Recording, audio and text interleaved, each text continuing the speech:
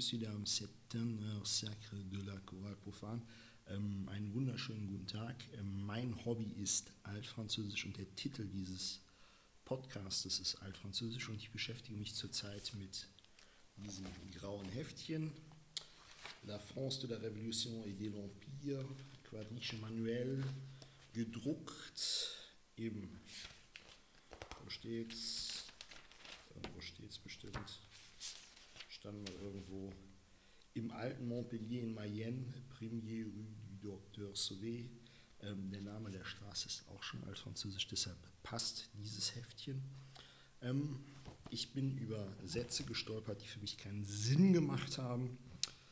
Ähm, ich habe es geschafft, einen davon zu übersetzen. Und ähm, ich bin jetzt beim zweiten Satz angekommen. Ich lese den einfach mal vor. Les entendants ont des pouvoirs très entendus de justice, police et finance qui en font les représentants du roi en Provence. So, als erstes gestolpert bin ich über des pouvoirs. Man denkt immer, man weiß alles dazu. Und äh, ich habe es hier aufgeschrieben, wollte ich Ihnen zeigen, dass ich fleißig bin. Kann man auch mal machen, in einem alten Schulheft mal das äh, Chemieheft von der Hauptschülerin. Ähm und ich gucke jetzt erstmal bei Pouvoir nach und lese das vor. Und dann habe ich noch ein zweites Wort nachgeschlagen, was auch wichtig ist in dem Zusammenhang, was auch in der französischen Politik oft falsch benutzt wird. Ähm Le pouvoir das ist ein Hauptwort und es ist männlich. Le pouvoir, crédit, influence, possibilité d'action de quelqu'un, de quelque chose, avoir, beaucoup de pouvoir. Il n'est pas en mon pouvoir de m'opposer à cela. Le pouvoir de la presse, des médias sur l'opinion, das heißt einfach nur Macht. Avoir beaucoup de pouvoir, viel Macht haben, il n'est pas en mon pouvoir de m'opposer à cela. Ich habe nicht genügend Macht, Kraft, um mich dagegen zu stellen. Die Macht der Presse oder die Gewalt der Presse, der Medien über die Meinung. Pouvoir d'achat, valeur réelle en marchandises, services, produits alimentaires qui représentent en revenu, euh, Kaufkraft. Gouvernement d'un pays exercer, détenir le pouvoir, gouverner. Euh, Regierungsgewalt, parvenir au pouvoir de, de langue intrigue, ähm, durch Intrige an die Regierung kommen, in Regierungsgewalt kommen, au pouvoir de quelqu'un d'un pays, sur son autorité, sa domination, au pouvoir de quelqu'un d'un pays, sous son autorité, sa domination, jemanden in der Hand haben, die Macht über jemanden haben. Und jetzt kommt der Teil, der interessant ist für diesen Satz pouvoir exécutif, institution politique chargée de veiller à l'exécution de lois gouvernement. Die dritte Gewalt, die Exekutive, die Polizeigewalt. Ähm, pouvoir judiciaire, ensemble de la magistrature chargée de rendre la justice. Die erste Gewalt, die Judikative. Nee, das ist die doch, das ist die erste. Und die zweite Gewalt ist äh, Pouvoir législatif ensemble de ceux qui sont chargés de élaborer et de voter les lois. Warum das in der Reihenfolge steht, da meine ich mich an meinen Unterricht erinnern zu können, ist äh, L'Esprit de loi développe äh, 1748, die Theorie der drei Gewalten, die, das Buch wird Montesquieu zugerechnet. Das ist hier im Kapitel der König äh, erwähnt. Ich bin hier im äh, Kapitel die Regierung. Deshalb wird es hier noch in der Reihenfolge äh, aufgeführt. Man hat es irgendwann geändert, geändert. Erste Gewalt Judikative, zweite Gewalt die parlamentarische. Ähm, das ist die Legislative und die dritte Gewalt ist die Exekutive. Und ähm, Dabei wird es immer gewalttätiger. Das Parlament hat mehr Gewalt als äh, äh, die Richter und am Ende haben die Bewaffneten, die was durchsetzen. Wollen die meiste Gewalt über eine einzelne Person. Deshalb hat man die Reihenfolge irgendwann geändert. Und äh, pouvoir hat noch eine dritte Bedeutung, Procuration, acte donnant mandat de faire quelque chose, être muni de pouvoir pour représenter en voisin à l'Assemblée générale des copropriétaires. Ähm, Vollmacht heißt das noch. Pouvoir heißt Vollmacht. Äh, être muni d'un pouvoir pour représenter en voisin à l'ensemble général des copropriétaires. Einem in einer ähm, ja, äh, Versammlung von äh, Zusammenarbeitenden ähm, vertreten. Hier nennt man das oft Genossenschaft, landwirtschaftliche Genossenschaft. Ähm, ja, sowas halt. Gibt es zum Beispiel in Frankreich auch beim Weinbau, wenn äh, kleinere Weingüter gemeinsam ihren Wein vermarkten, dann kann man da jemand anderen hinschicken mit einer Vollmacht.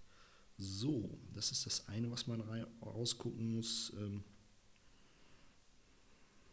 einmal einfach nur äh, Macht, dann Kaufkraft, dann äh, die Regierungsgewalt, dann die drei Gewalten und zum Schluss Vollmacht. Das sind die Be äh, Bedeutungen von Pouvoir. Und was hier gemeint ist, ist äh, des pouvoirs très entendus de Justice, Police et Finance.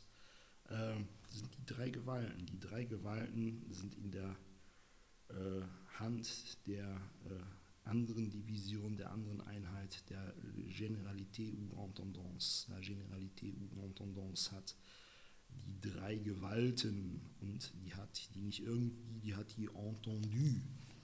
Und was Entendu heißt, habe ich auch nachgeguckt. Das ist das Wort, was in der französischen Politik falsch benutzt wird.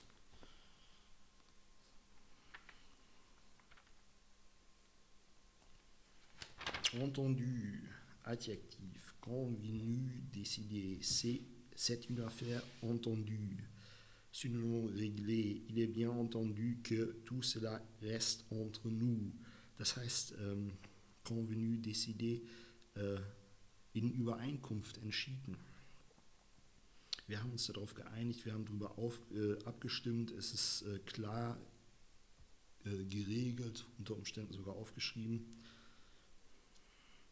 Entendu, je vous ferai connaître le résultat. Ähm, stimmt mit mir überein, ich teile euch das Ergebnis mit.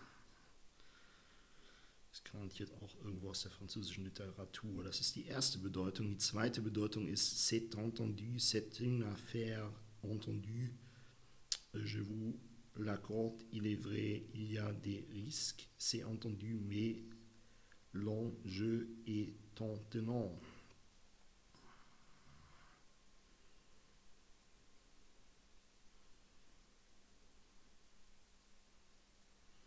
Ja, mal versucht das halt einfach. Prendre en air, entendu prendre l'attitude de celui qui s'y a connaît.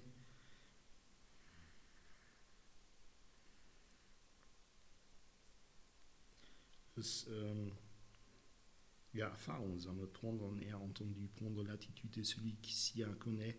Äh, ja, die, äh, das Erscheinungsbild desjenigen ein aufnehmen, der äh, sich auskennt, also Erfahrung sammeln, prendre en air, entendu, von mir aus auch Berufserfahrung, bien entendu, ähm, das ist familier, comme de bien entendu, naturellement, c'est la voix de soi, bien entendu, si vous nous aidez, vous aurez votre part de bénéfice. Du viens avec nous, bien entendu, das ist der Teil, ja. Wieder in Übereinkunft, in geselliger Übereinkunft, so.